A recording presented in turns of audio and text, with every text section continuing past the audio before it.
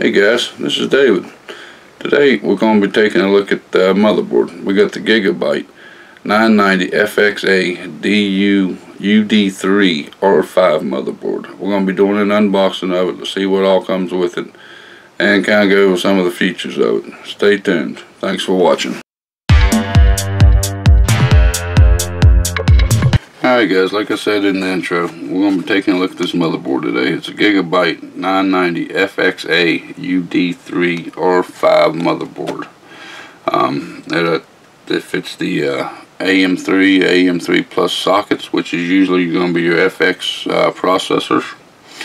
Uh, we're going to do an unboxing, see what all comes with it, and um, go over some of the benefits of it. Here we go. Ready? Ah, looky there. I know how to open a box. I'm special.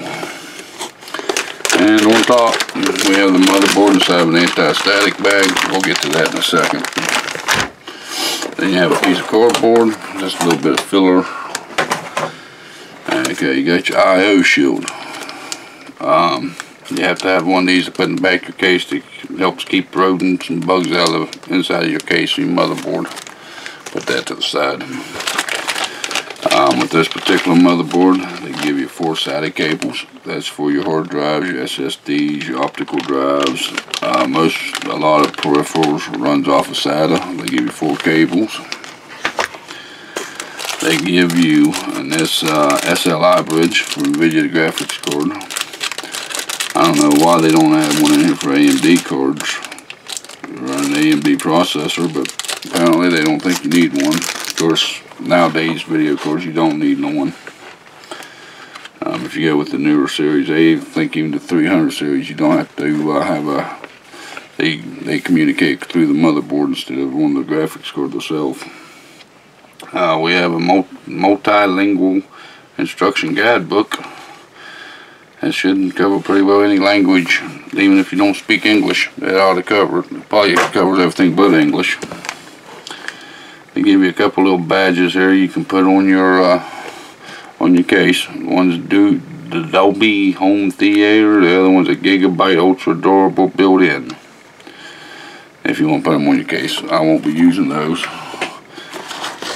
You have your uh, uh, user manual here. This will actually come in pretty handy. Um, uh, whenever we get on the board, you'll see it's got four DIMM slots. If you're only using two, you'll have to look in here to see which ones is uh, to put your uh, RAM sticks into dual channel before you get that benefit out of the RAM, so it'll be a little bit faster for you. And you have your uh, all your drives for your motherboard, which we won't be using. We'll be going to Gigabyte itself and downloading the latest versions, because I'm sure them things are probably pretty old by now. And other than that, guys, the box is empty. Nothing else. and as you guys can see, I'm not wearing an anti-static strap. Um, I've been building computers for quite some time now. I've never used one always keep a computer case or something big metal close to me. That way I keep touching the static, static, uh, get rid of the static. I'm also working on a thick rubber mat. And I'm not on carpet, I'm on a wooden floor in this room, guys. So anti-static ain't a big deal to me. Alright, let's keep that in mind. Uh, take a piece of tape off the back of it.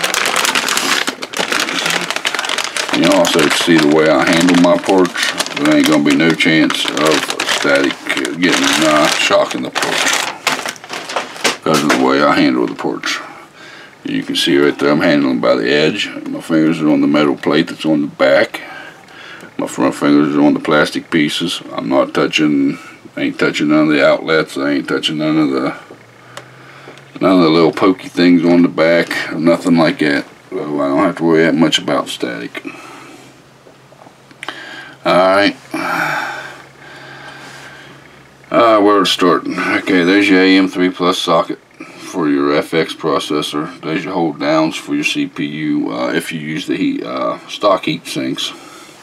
Up there's your CPU fan header. You got a power fan header. You got your 24 pin connector. You have system fan 1.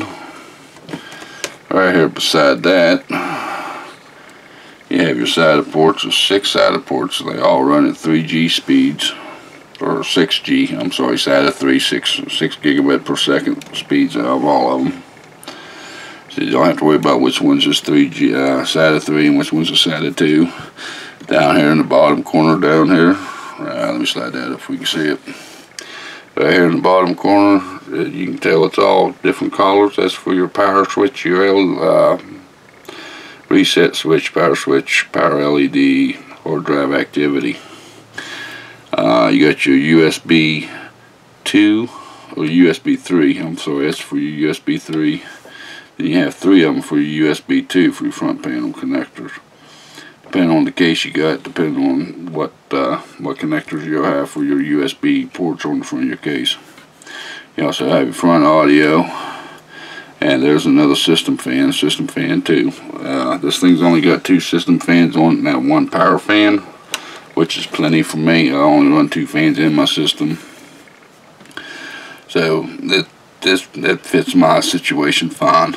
We got one PCI times 16 slot here you got the second one PCI times 16 slot 2 there that way if you want to crossfire your uh, graphics cards you're more than more than capable. 16 slot there 16 slot there. You got a times 4 here and a times 4 here. You got PCI Express. I don't even know why they add these I guess if you want to use older uh, legacy equipment you can still use them I guess. You got PCI Express one slot there and there. You can have two of those. Um, you have active cooling on your on your uh, North Bridge chipset up here. Down here's your South Bridge, which got a heat sink on it as well to help get rid of the heat that they uh, create.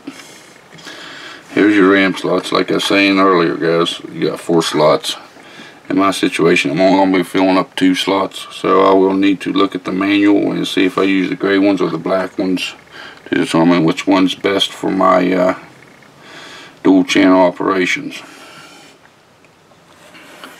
as far as the back ports on this thing goes that you'll be using you got two USB two more USB you got two four six eight USB 2s you got two USB 3s you got a uh, one gigabyte ethernet connection.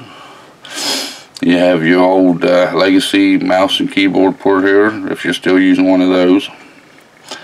You have your uh, six spots here for your 7.1 surround sound audio and these down here is the E port, uh, the E SATA port, which I never used, but they came on the board. As you can tell on the back of this motherboard, they have no place for a radio out.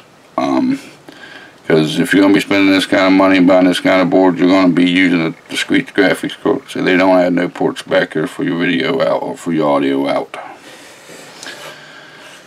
Um, as you can tell by looking at the board, it is a full ATX board. You have nine spots for to screw into your motherboard. Um, so whenever you're buying the case make sure it's going to support the ATX factor. It ain't going to be a mini ITX. You're trying to put an ATX motherboard into it. Um, it's all black and white. You know, it's all black, gray, white. Nice looking board. If you look going for an all white, uh, all black build, I think it looked pretty good. That's kind of what I'm going for within this build I'm doing now pretty much all black. You know, a little bit of white accents ain't gonna bother me too bad. The gray, it kind of matches the gray that's on my graphics card, so it will go pretty good. Um, yeah, guys, but that's about it for the motherboard. There ain't a whole lot to talk about on them. Um, hit the like button if you liked what you seen. Hit the dislike button if you didn't like what you seen. Uh, let me know in the comments if there's something else you think I should have pointed out on this uh, motherboard for this video. Until next time, you guys be safe, and I'll see you in the next video.